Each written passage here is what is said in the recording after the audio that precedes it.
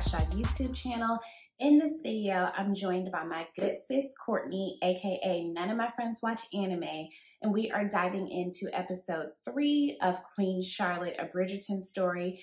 In this episode, our good sis Queen Charlotte is still trying to figure out who exactly her husband is, what the hell is going on, and things slowly start to come together. Meanwhile, Lady Danbury is cashing in on her social capital to advance her and her husband's status. And the first ball of the season changes a lot of things for a lot of people. Things really heat up in this episode, so join us as we do a deep dive and get into it.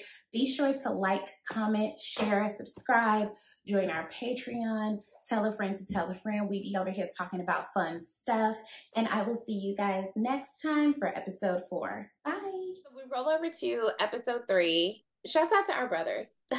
I know. uh, we're over in episode three. Charlotte is trying to piece together the clues of who her husband actually is. And things are kind of starting to come together in this episode. Lady Danbury attempts to gain social favor and status using her position as an insider. And the first ball of the season changes a lot for everyone as the ton intermingles. Um, Mm. Uh, thoughts? First of all, I loved how the I loved how the episode opened with flashback or current current Charlotte, and she says the line, "Look at me, I'm absolutely gorgeous." Right? Like I love that lady. Like I loved her in Bridgerton too. So I was really excited when I again I didn't watch season two, so I don't know what she gave there. But I was excited to hear about Queen Charlotte because I liked her and I, I wanted to know more about her, not just from a, a Bridgerton perspective, but because she's based on a historical figure. Um, and so I was interested in like her story. So to see her in her like regalia and just like, no, look at me, like I'm stunning, I'm gorgeous, like this is me. she's a ridiculous person, and it's Love fun it. to see her become ridiculous. Yes. You know, um, Yeah. and we get more clues about why she is as ridiculous as the Mhm. season progresses. Mhm. Um, so the day of the coronation, Brimsley wanders down to the cellar where he thinks his man is stepping out on him, and he was like, "Baby, you Ooh. can somebody else. You can just stay there, but make sure With the help. right station. With the help. You out here with the help." And it's just like, first of all, girl, calm down. Like, I, I'm just in the cellar. but he was sweet. He was sweet about it though. he He was, was like, he was like, no, it ain't no, it ain't nothing like that. I'm sorry, he was but really sweet about it. It's the fact that Brimsley pulled up. In the basement, bitch. In the cellar. It was like, okay, what the fuck going on down here? And he said, well, I don't know what's going on down here, but what are you doing down here? Because you wouldn't even be seen in this place. What are you Um, doing? So Brimsley peeps Peeps, yeah. that And then goes and tells Charlotte, baby. ran back and told it. I love, I love it. So the day You of the better be loyal to me. Hello. The day of the You better coronation, Charlotte and George play their roles really well for the Mhm. public. And Mhm. then they go home and they have sex on even days. Courtney, what are even days? Monday, Wednesday, Friday? What are even days? I thought maybe like the second, the fourth, the sixth. What's Right. one? Is Sunday one or is Monday one?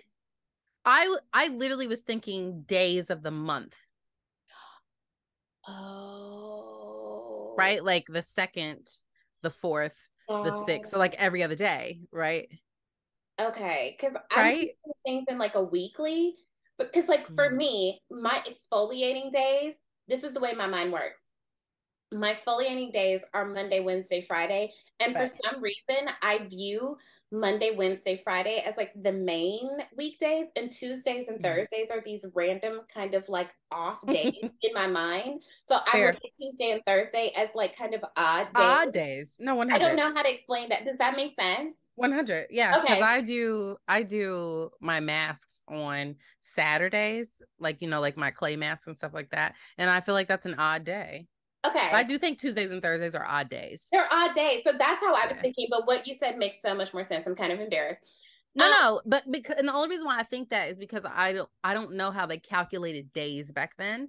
I also wasn't sure if they were um talking about like her ovulation. Right? Because you know how like you know when you ovulate, you're have a bigger chance of getting pregnant. So like perhaps ovulation was calculated different then. Obviously they didn't have the apps and things like we do today. But like maybe that's what they were thinking. Yeah. Either way, honey, they was getting it in. Babe, when they started having sex in front of the staff. What, that tweet in front of the salad? Of Never not funny. Never gets old in front of her. cracking up. I was cracking up. And then like Brimsley, oh, we gotta get out of here. Like everybody get out. Shit, get the- right. it, it was I loved it. It was the sound. Can we Yes. talk about the sound design of this episode? Yes. Excuse me. But I Um, also liked but I liked the fact that they were comfortable doing that in front of everybody. Tell me Because it's like, well, because they're always constantly watched. They're always under the eye of somebody. And it's like, you know what? You, I mean, if you're gonna be here while I get my my clothes changed or while I'm bathing and like whatever, it's like, well shit, you can watch this too, I guess. You was gonna be in the room anyway. You know what I mean? So I You just feel like is? they it makes me think about how people talk about how on reality TV, at some point you forget that the cameras are there and you really are just living your life. Because for me, living. when I watch reality TV, I'm like, how are you not so aware that these people, where people, it's like people are saying things and lying, and it's like, babe, you're on camera. Did you forget? Yeah. They do forget. So I think that those people do tend to at some point kind of blend in. Did Mm. you notice how they were before George even comes? Did you notice how they watched her eat her food? yes. Why were they watching how I think it could have been as signs of pregnancy? Like Or I think it could have been perhaps one, she was black and maybe she was new to them. Like perhaps like, you know, they hadn't seen a black person in their setting like that, you know, like in the royal house. obviously she's the first of their kind. I also think it could have been um getting her reaction to the food because she's foreign, right? Like she, she wouldn't likes and doesn't like. And okay, okay. I was really curious about that. Um we and she's in solitude, right? So like. You know what I mean? So like just imagine you having to wait on somebody hand and foot and they're they're new, they're new to the country, you don't know them, they're foreigners, and you just have to like sit there and, and be in front of them while they eat. I feel like the, I probably would be what you So doing? what else right? you Like, I probably look would yeah, like Yeah, what what else else you you gonna gonna look look at? at? Yeah. Um, in this episode, we meet the Ledgers. So we meet young Violet. I am so obsessed. Oh sweet. I'm obsessed with her relationship with her with her father. Or dad. I love that he calls her beauty. Brains Brains. and beauty.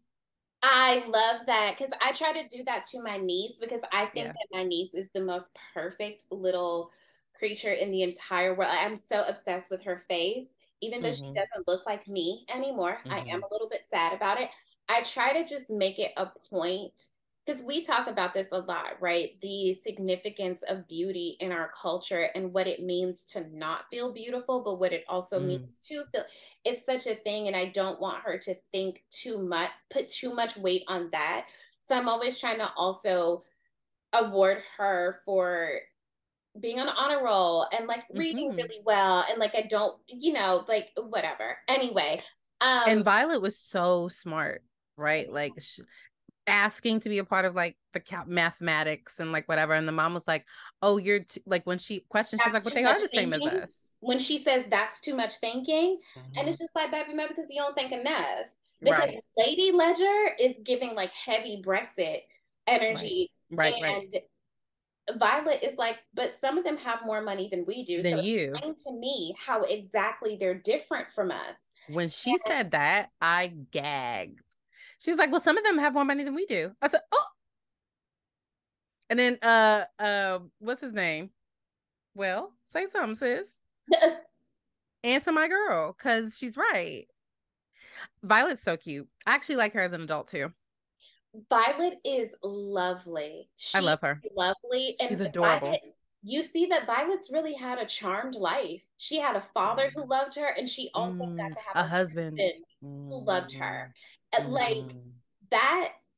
hmm And that's why, and that's why Lady Danbury said that you. What did she call her? What did she say? You're very You're fortunate. you're very fortunate, right? Yeah. Like because, and I think that that's what she probably was talking about too. Is that yeah, we're talking about your husband, but I, I- you know, I know your father treated you like this as well, and so like you've you've always been very fortunate to have that. She didn't know her parents. She was raised to to be at by the age of three to marry this old man who was gonna hump on her 15 times a day. You know what? So it's like making me think about.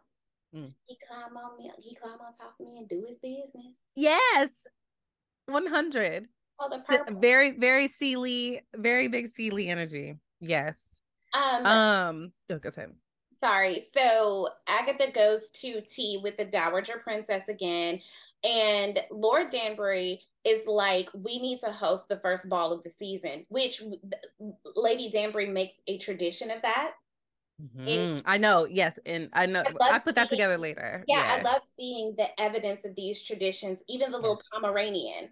That Yeah. present day, she's surrounded with Pomeranians because it's this symbol of like his kind. We got this, Femi. Ugh.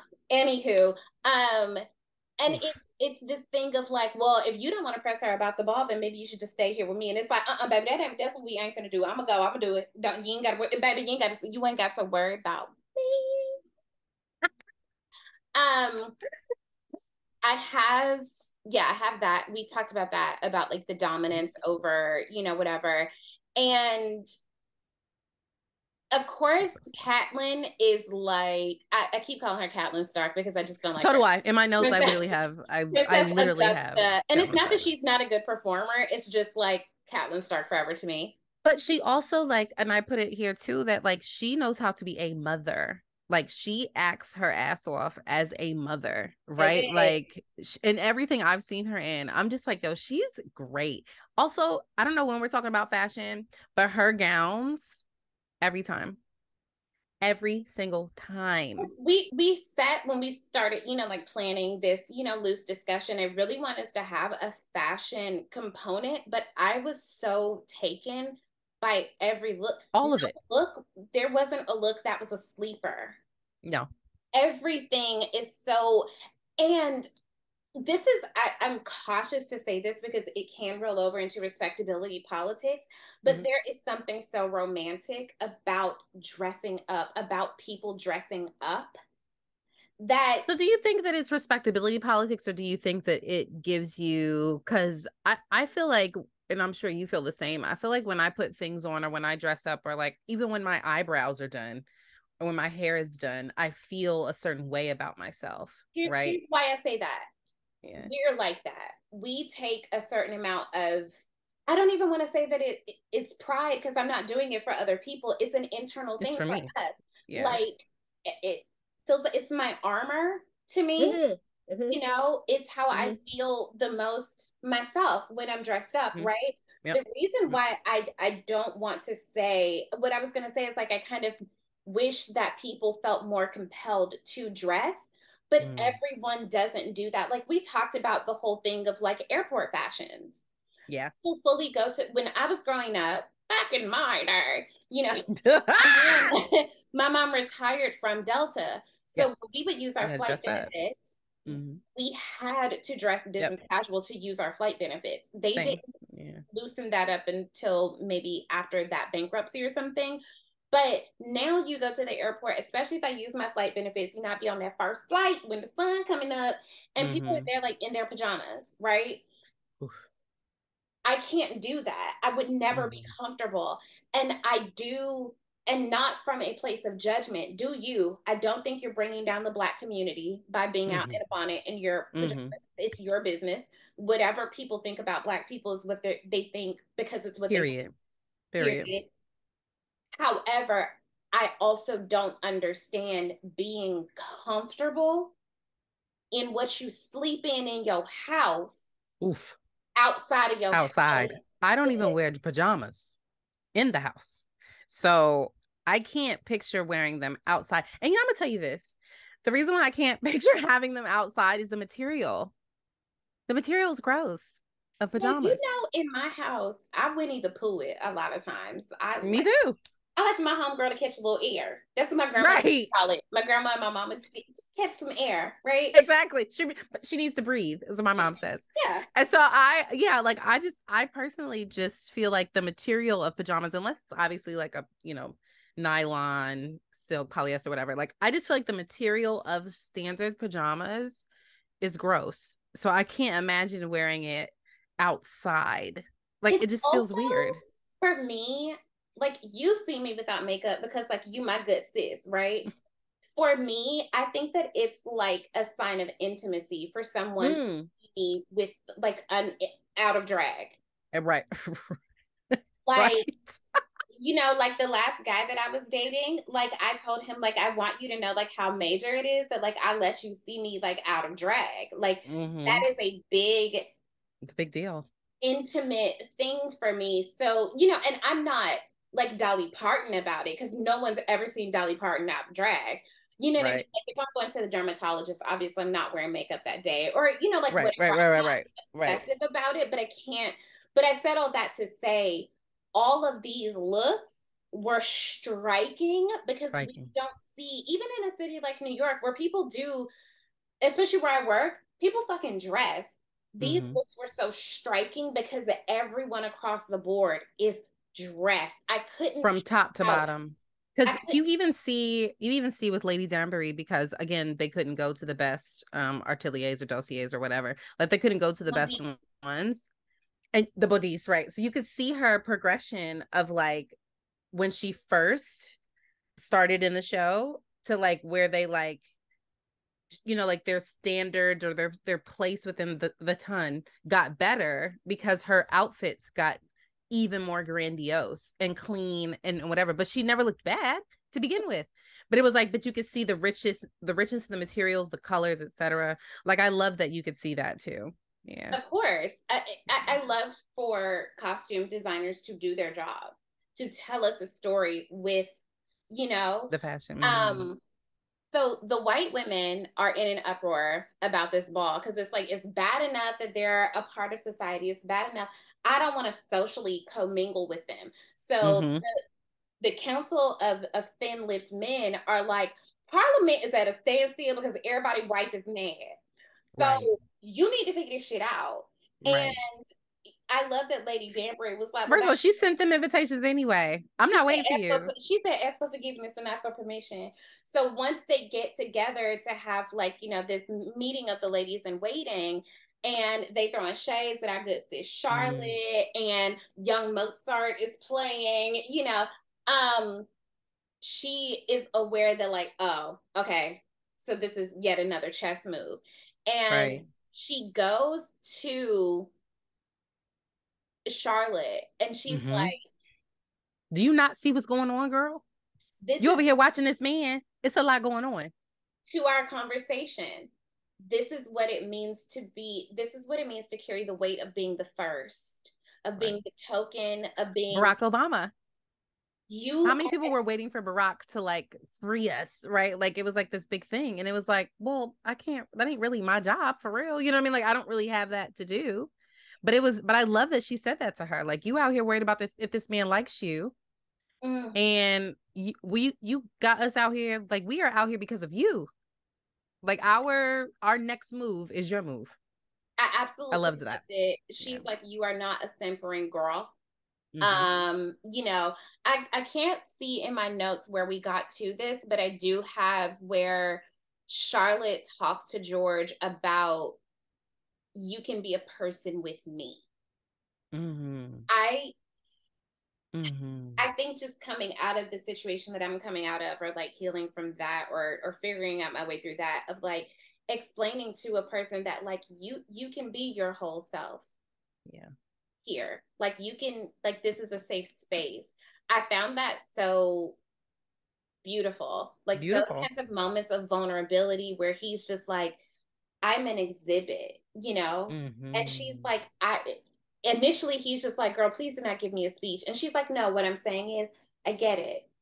Right. I, I get it. I do want you to be able to just be George here. You can be yourself right. here. And she also uses this as a moment to help out Lady Danbury. And it's like, we need to do something for my people. So they say, right. you know what, bitch, we going to the bar now. Everybody going to the bar now.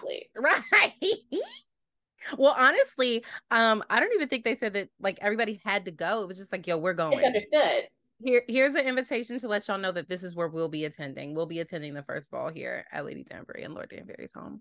It's understood. Mm. Um, I mm. also look, can we talk about how how much of a ball bitch Lord Ledger is?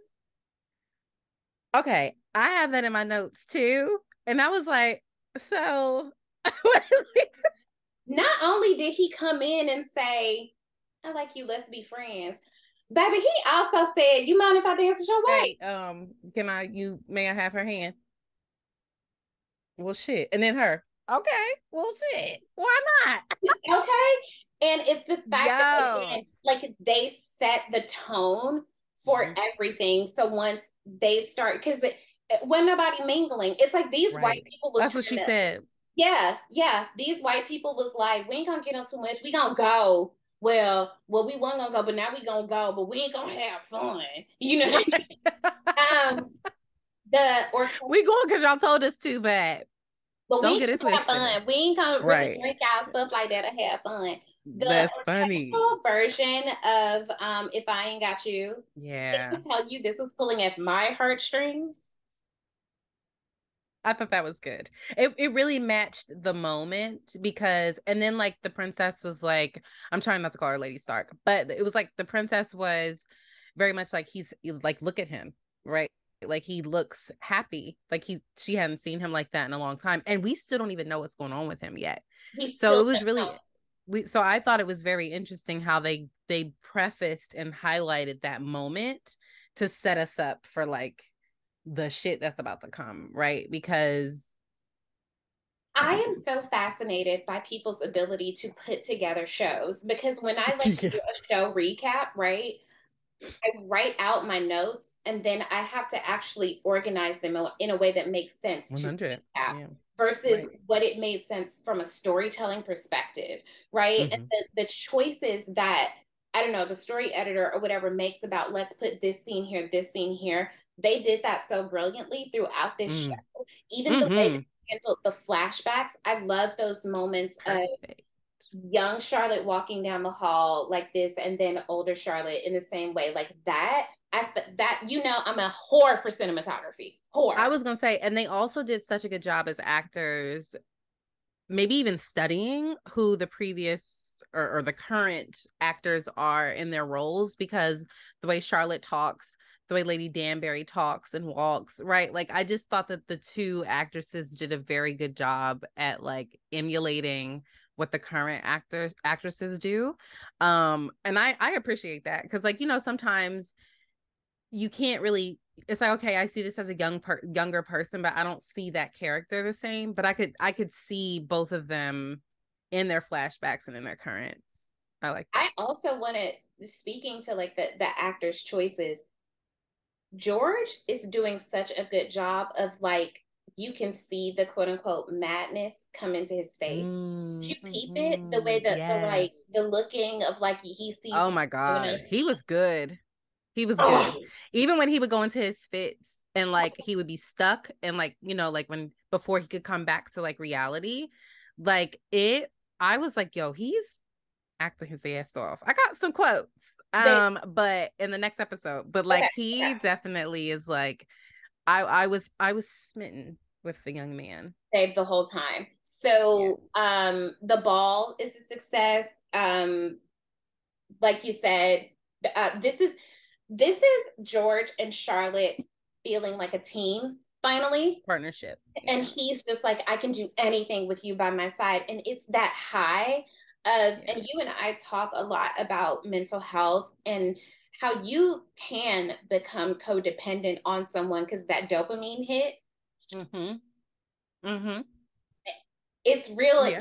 easy to be like, well, shit, I got you because I've had someone do that to me. I have you, so I don't, I don't need anything else. And it's like I'm a person though. Like, I can't I, take all that on. I can't take I can't carry my stuff and carry your stuff too. And to have someone cling to you for that kind of like like as a lifeline, it's a really sweet thing, but it's not sustainable. But but he also didn't want to, to be honest. I mean, she offered it, right? Like she right. she offered herself to him in that way. And he was push he was fighting for a long time. Right. Um, and so but I don't think he gave in until the very end. Yeah, he. You well, I mean? then we find out later like what happened, but like they yeah. go to sleep in this really beautiful like place, and he has this like dissociative episode, and mm. I cannot tell you that was wild. you have no idea. Like I would, I can't put into words what I was feeling watching her snap into action to protect him. Yeah. And her being like, Reynolds, I got this. This is my man. I got right. this. Right. And you know, it's like I'm Venus. Venus is right. going in the house. Like, right. Uh, bitch. Uh, bitch. But I ain't gonna hold you. I mean, like it. It goes back to that. Like, I'll do it. The, the black woman attitude of like I'll do it. I'll the do matronly, the the like motherly instincts that we tend to have. And I feel like what else was she gonna do? She just married this man. She didn't know what was going on with him. What else was she gonna do? Right? Like, especially when she's battling with the fact that she actually loves him, right? But still doesn't know him yet. And so mm-hmm. it's like, well, what do I do? Right. Um, I loved that first of all, him scribbling on that wall and like talking to himself, an actor, a thespian, because I was like, because because she could hear him, you know, like doing the thing, and she's like, "What is he doing?" And then she signs the light, and it's, it's like these erratic drawings, and I'm just like, "Yo, this is crazy," because I didn't think. Obviously, we saw him with the doctor in the cellar, but I didn't think that it was this. So I did because again, you know, like I listened to a lot of historical podcasts, media, like whatever. Mm. And to be very clear, a lot of times those stories kind of run together for me, but I mm. heard of the Mad King George. Right, but I didn't think it was him. I don't know. I didn't put that together. Like I just, I did not put that together because I there's so many of the same name and so many. You know what I mean? And yeah. I was like, oh, because even when later in the series he's talking about the he's the Mad King, and mm-hmm. speaking to Parliament and whatever, right? It's like, okay, all of my mm-hmm. knowledge mm-hmm. of real world history is like, oh, okay. okay. Especially when he said they could call me the Mad King. I was like, oh, that's who that is. Right. That's like I just is. I wasn't thinking I wasn't thinking that. Yeah. And the and the fact that they call dementia madness is just very everything wild to me. You know what I mean? Like it's just it's very interesting to think about now today. Madness was the the umbrella term for right. You ain't normal. Right. right. Your nerves bad. something wrong with his nerves. Something. My grandmother to this day, mm, my nerves, and it's like, hun, babe, you got anxiety. You gotta see somebody about that. And it, the fact that it's just like you, you want to just take a little bit of an edible, baby. What you want to do? But you, cause I got a little, I got a little vodka here. We could, you know, we could do whatever you wanted to do. Figure it out. But I, but I do. Again, there's something about Charlotte and even her bathing him with Reynolds and Brimsley being right there and being like, what is going on with him? What is like what is happening? And she's pissed, but she's still taking care of him. Yeah. Right. Like I think that that speaks to like the love, right? Where it's like, I'm gonna come back to you later. We gonna get we gonna take care of this, but like what's going on? What is this? This is also the episode where um Lord Barry, Lord Lord Danbury, he died on top of me. Oh honey, when she came out, first of all, I loved her handmaiden. Coral. Um, Coral. Loved her. She's so funny. Um, but I loved how she came out. That's her home girl, even though she's her like lady in waiting, I guess you would call her. Like she came out immediately, was like, Oh my God, no more baths. Like I, am a free, essentially, right? They hugged, and then she was like, "Okay, I'm gonna go in here." And then Coral's like, "Okay, you better give me your best performance, bitch, because we're gonna have to like sell this, right?" So I really thought, again, I'm I loved the like little pieces of like that sisterhood that that Shonda was throwing in there. For sure. Um, meanwhile, in the present, quote unquote present, Bridgerton present, um, it's the scene where Violet is mourning her husband's death, and you know, Lady Danbury tells her like how fortunate she is, and I was so happy that she forced her to meet her again so that she yes. explained to her, "This is why you're right. lucky." Um, right. and then also present day, Charlotte presses Brimsley about like, why do you think my kid, my, all of my children are like a failure to launch? And I did not. And he's like, "Cause you lonely, bitch." See, I did not realize. I didn't get that. When he says, "Your daughters couldn't leave you. You are frozen in time. You're frozen." I didn't realize that she was frozen in time. She is a widow of a sort, which we get in episode five in the penultimate episode. This set that up so well because I I hadn't connected those dots. Because even because he's not even around in the first season for real, right? We see him like once or twice. Yeah. Yeah. And it's like we can tell something's not quite right from like right. and there's a big big moment in season two that okay. really sets this up. So you'll see it like once you okay. actually watch, where you really see the like, oh, bro be having like major dissociative episodes. Like, okay. Um mm-hmm. but I did not realize that, mm-hmm. oh my mm-hmm. God, she is stuck because she can't but why would the daughters be? I guess that that was the part that I didn't really get because even if sure yes, right? Like cuz I I feel like sure but to your point, she had they had 15 kids and not one of them could, could produce an heir. And it's like, okay, sure, she's stuck in time, but what does that got to do with you? Because you're still out here, right? Like you still out here. Y'all don't really like care about your mother for real. You know what I mean? Like you could tell that they don't have a relationship with each other. So like it's not like, you know, you or I being like, you know, oh, my mother's going through this right now. I'm gonna like chill with her for a little bit. Or I'm gonna go home for a little bit and like be with her. That it, it's not giving that. It's giving much like we show up when you call us, and then that's it. I so I couldn't imagine them not marrying because of her. I think we get more insight in that last episode. True. But that question is still hanging out there for me as you know what i mean? Yeah like yeah. i mean okay so like what i mean so y- do y'all kick it with tea? Like i don't see y'all having tea with each other. Like i don't see y'all keying all day together for you to just be like oh i don't want a husband because i'm with my mom. Very fair. Yeah i don't know. Very fair. Um episode four ruined me